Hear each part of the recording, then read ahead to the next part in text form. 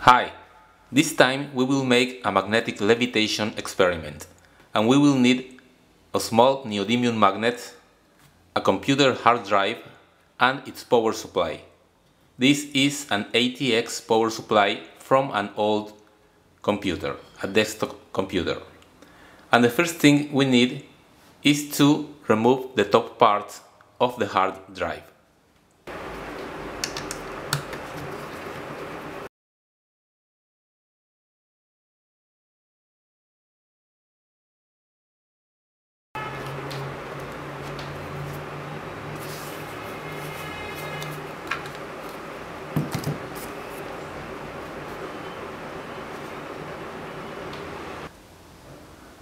In order to get the levitation effect, we need a material that is a conductor of electricity, but that is non-magnetic, such as aluminum or copper. The internal plate of the hard drive is made of aluminum. We can see that if we put the magnet close to the disk, it is not attracted. Also, the plate spins at a high speed we also need the speed in order to get the levitation effect.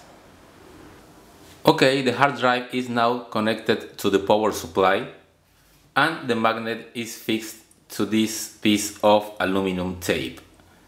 I'm going to turn on the power supply and let's see. The hard drive starts to spin and I'm going to put the magnet above.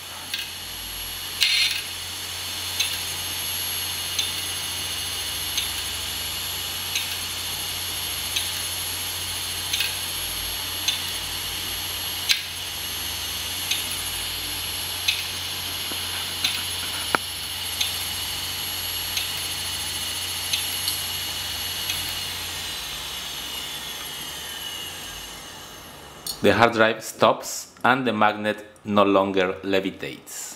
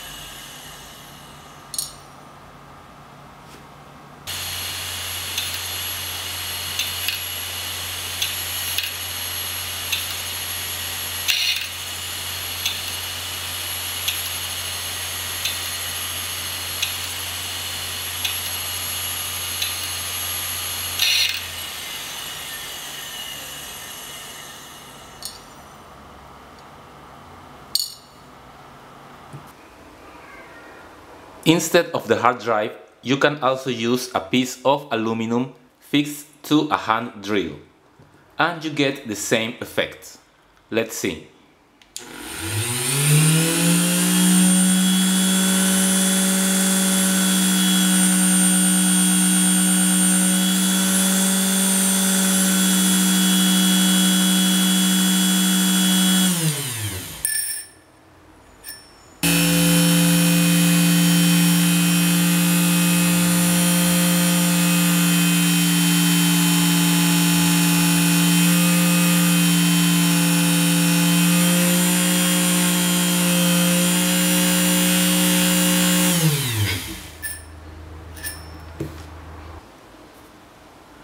Let me try to explain why the magnet levitates. Here I have a coil connected to the multimeter and some magnets. Remember that when a magnetic field cuts a conductor, a current is induced in the conductor. So let me move the magnet through the coil and you can see that the multimeter shows a voltage. That is, we have a current flowing in the coil. We can also have the magnet without movement and move the coil through the magnet and we also get a current. the relative motion is what is important. But now, when a current flows through a coil, the coil becomes an electromagnet and creates its own magnetic field. Because of what we have just explained, we can see that when we put the magnet above the aluminum plate that is rotating, since the aluminum is a conductor, a current is induced in the part of the aluminum that is below the magnet. This induced current is known as eddy current and creates its own magnetic field. By virtue of Lenz's law, the magnetic field created by the eddy currents must be of a polarity such that repels the magnet that is above. Therefore, there is a repulsion force between the magnet and the aluminum below. And this creates the levitation effect.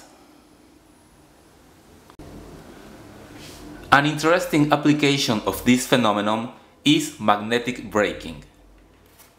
There is some kind of drag or friction between the magnetic fields of the magnet and the aluminum, even when they are not touching. So when we bring a powerful magnet near a moving conductor, there is a drag or friction that results in braking of the movement. So let me turn on the Dremel to show this effect.